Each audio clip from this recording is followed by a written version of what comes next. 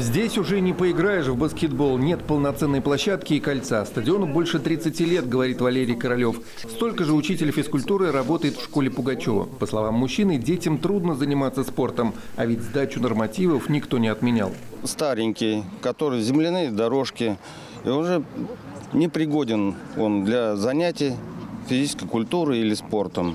Потому что вот сдача нового ГТО мы уже ну, встречаем трудности для выполнения этих нормативов. О своей проблеме местные жители рассказали депутату Госдумы. Николай Панков встретился с горожанами. Вместе обсудили строительство нового спортивного комплекса открытого типа. Политик представил типовой проект. В плане современные тренажеры, футбольное поле, зоны для игровых видов спорта, беговые дорожки. Резиновое покрытие последних поколений для занятий в шиповках именно, потому что существует просто резиновое покрытие, которое в шиповках нельзя заниматься здесь. То есть здесь уже в шиповках Именно, да, можно. здесь в Почему? шиповках. Потому что я помню первое ограничение по э, таким э, покрытиям было, что э, нельзя э, входить в шиповках. Да, А сейчас модернизировано уже, и отлично, можно да. будет заниматься в шиповках, то есть развивать легкую атлетику на любом уровне, вплоть до чемпионов мира. Чемпионы тоже смогут здесь заниматься. На встречу пришел именитый пугачевский спортсмен, чемпион мира и Европы по гиревому спорту Виктор Якушев. По его словам, он с удовольствием будет проводить здесь тренировки.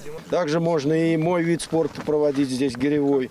Площадочка, он есть, пожалуйста, выставил где тренажеры и проводи хоть районные соревнования, хоть областные. В летнее время, пожалуйста, на открытом воздухе. Даже не вопрос.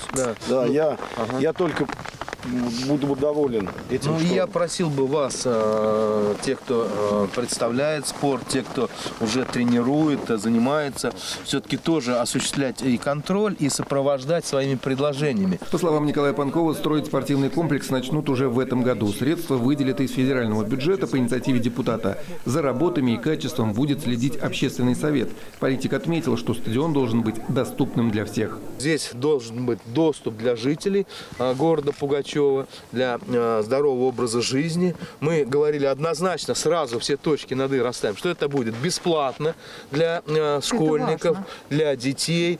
Такие же спортивные комплексы построят в Вольске и в Саратове в поселке Юбилейный. По словам Николая Панкова, за фоками такого уровня нужно следить. Поэтому необходимо передать все спортивные объекты на баланс регионального профильного министерства. Это позволит постоянно поддерживать стадионы в хорошем состоянии и сразу же проводить текущий ремонт оборудования. Павел Фитилев, Олег Буланов, Саратов 24.